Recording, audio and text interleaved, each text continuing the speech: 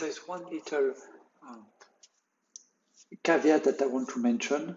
Um, so if you're familiar with a labor uh, macro literature, so um, so literature that uses uh, matching models to study um, the labor market, you might know that uh, so the, the main paper that introduced uh, wage rigidity in the macro labor literature was uh, Hall 2005.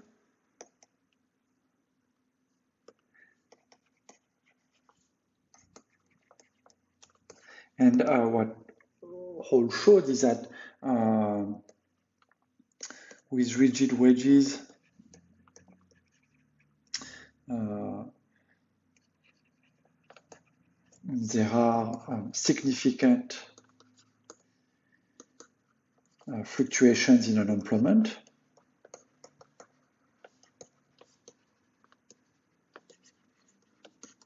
in response to um, response to productivity shocks. So that was a very important uh, that was a very important finding, and it was a, a, a first and uh, I think the most realistic um, resolution to the Shimer puzzle.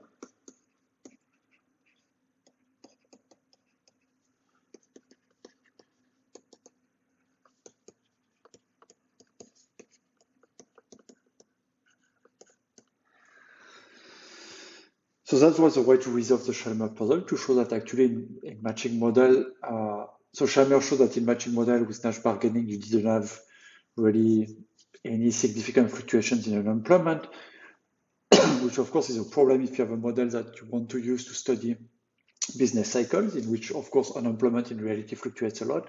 Hall showed that with rigid wages, you could actually get significant fluctuation um, in unemployment. And furthermore, Hall showed that um, you know, because wages were decided in situation of bilateral monopoly, it was totally legitimate to assume that uh, wages were rigid, that this wouldn't create uh, bilateral inefficiencies. However, so one caveat that Hall say, uh, mentioned is that you know your wage couldn't be your rigid wage couldn't be just anywhere. Um, so he showed that rigid wages uh, are uh, theoretically legitimate. Um, they you know, do not create any um, bilateral inefficiencies, which, you know, as we've discussed before, would be um, problematic because these are inefficiencies that can be uh, addressed with just a bit of cooperation between the two parties. Um, and that was a typical criticism of rigid wages. So disequilibrium literature, this criticism that, for instance, Barro raised is not valid here in a matching model. Uh, but so, uh, but uh, you can't have any rigid wage. Uh, so what Hall showed is that the rigid wage must remain within a fairly narrow band. And by that I mean that uh, your wage must always be between a lower bound and our upper bound and um, you know the lower bound and the upper bound the gap is not necessarily uh, the gap is not necessarily very large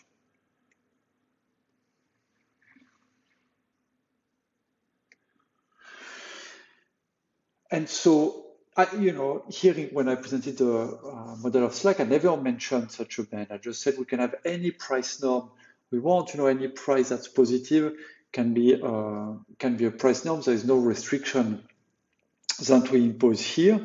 And furthermore, we also showed that for any price norm, you will always have a surplus, an aggregate surplus when the seller and the buyer meet. But even more, we showed that there would always be a positive surplus for the seller, positive surplus for the buyer, so that both buyer and seller would always be happy to transact at that price norm. Uh, and so it's kind of, it seems inconsistent that in our model, the price norm can be anything, whereas in, in Hall's model, there was this uh, this wedge band in which wedges had to fall. And so why is this difference coming from? How come we can have such, you know, uh, so much more freedom in setting our price? And the answer is very simple. Um, the reason why Hall had to impose uh, a wedge band is because the model that Hall used was very special, and in particular, it was completely linear.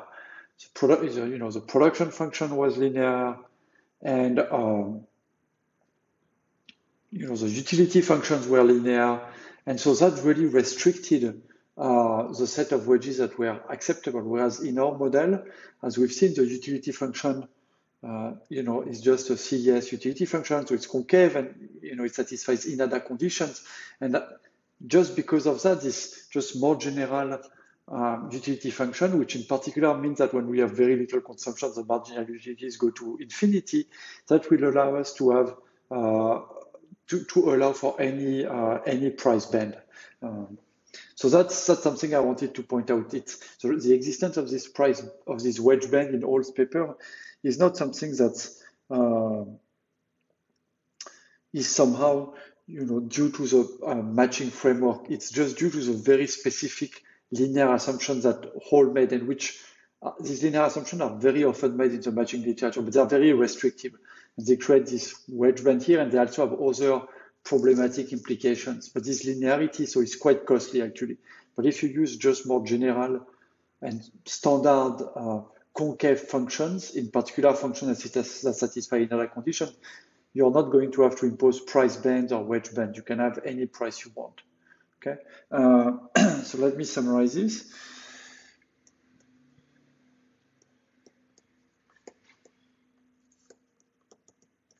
So the wedge band exists because of linearity of the model. So essentially, uh, what happens that your wedge has to always be less than the marginal product of labor, and it has to be more than the marginal rate of substitution for household, but that marginal rate of substitution, this is typically, uh, you know, that's something that we typically call um, Z matching model, which is kind of your outside option. Your um, you can think of it as uh, you can think of this as a value of home production. But then the marginal product of labor, if you have a linear model, in particular a linear production function, that's just A. That's just your productivity.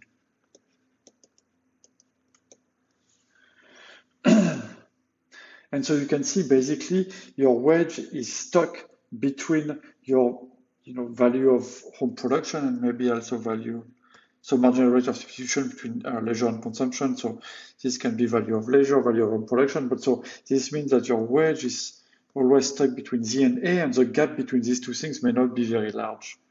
Uh, okay, but here's the key thing. So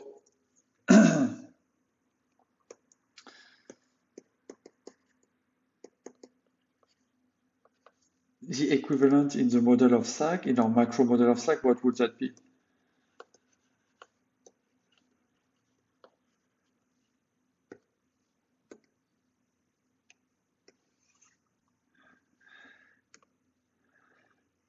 So basically for us, we'll have the wedge would have to be less, not than the, uh, sorry, here we're talking about prices. So the price um, would have to be less than what, well, than the marginal utility of consumption. and it would have to be more, so it have to be sufficient to attract uh, people to work. So, you know, this is also, it has to be more than, say, the marginal rate of substitution between um, leisure and consumption. But in our model, this we've just assumed to be zero.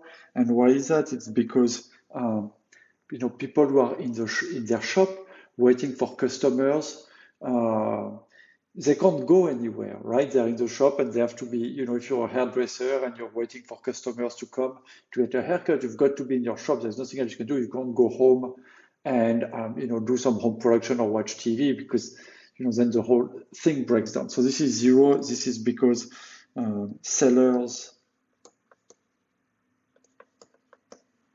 must remain in shop to sell. So, and this things you know, like a, a legitimate assumption. Um, when firms have to, firms have to keep, you know, if you have a restaurant and if you want to be able to serve customers, you need to have waiters that are waiting for the customers, even if nobody is around. Uh, so that's the whole nature of the matching process.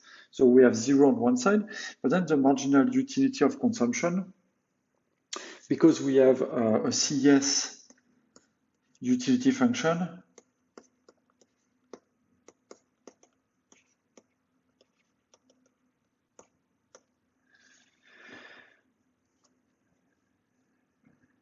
the marginal utility of consumption is going to go to plus infinity when uh, C goes to zero. this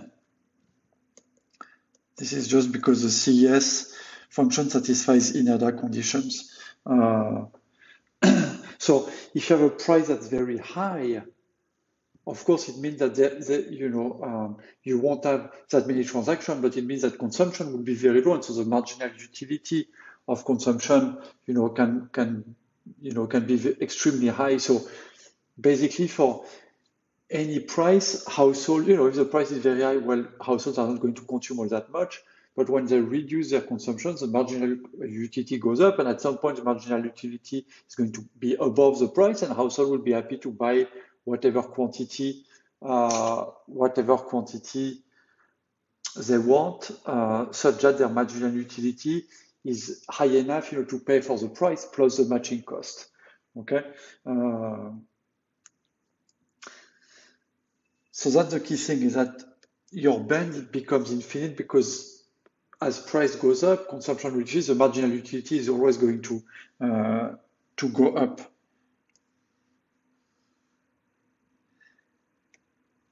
And the same would be true, you know, if we were thinking about, as, as we'll do later, having a separate product market and labor market. On the product market, what matters is marginal utility. On the labor market, what matters is marginal product of labor. But if you have a concave production function, your marginal product of labor also goes to infinity when a labor goes to zero. So it means you can accommodate any wage. If the wage is very high, you won't have many workers, but they'll be extremely productive because the marginal productivity um, is going to go to infinity.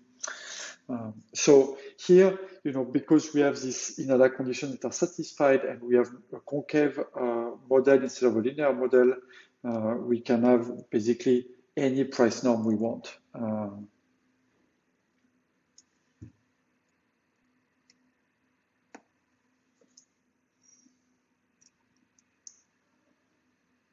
so basically what we see here is that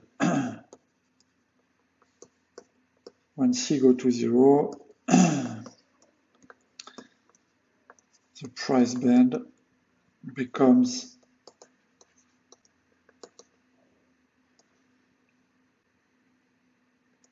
infinitely wide.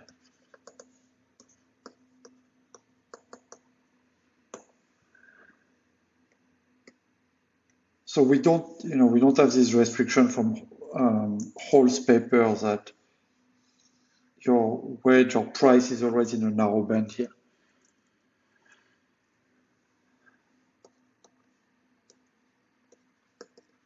And this is going to be true in any concave uh, model. Essentially, that satisfies uh, Inada condition.